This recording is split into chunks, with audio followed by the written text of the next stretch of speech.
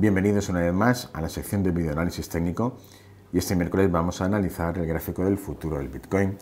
que se encuentra en un momento de mercado muy interesante.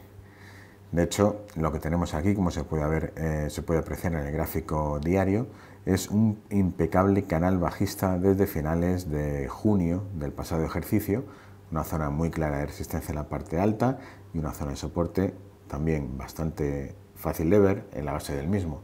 Y lo interesante es que justo tenemos el precio por encima de la zona de los 8.000 dólares, eh, de manera que lo que tenemos aquí es un potencial doble suelo que estaría eh, siendo superado al alza. Además, lo está haciendo también con un incremento de volumen eh, bastante superior al negociado de las sesiones anteriores y ello le está llevando además a empezar a asomar la cabeza por encima del canal bajista. ¿Esto qué quiere decir?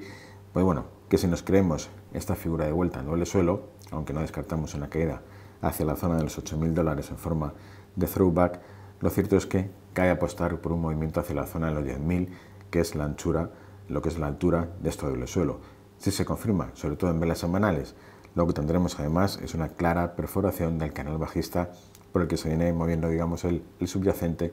desde el pasado verano, con lo cual todavía cabría apostar por un fuerte movimiento alcista de cara a las próximas semanas meses, sin descartar incluso volver hacia la zona de resistencia de los 14.000 dólares. Ni que decir tiene que la superación de los 14.000 dólares le llevaría prácticamente de cabeza hacia los máximos históricos que presentan la zona de los 20.000. Así que muy atentos en el corto plazo al Bitcoin, porque de ser capaz de superar con fuerza y en velas semanales por encima de esos 8.000 dólares, parece que podemos asistir a un cambio de tendencia de lo más interesante. Eso es todo, muchas gracias.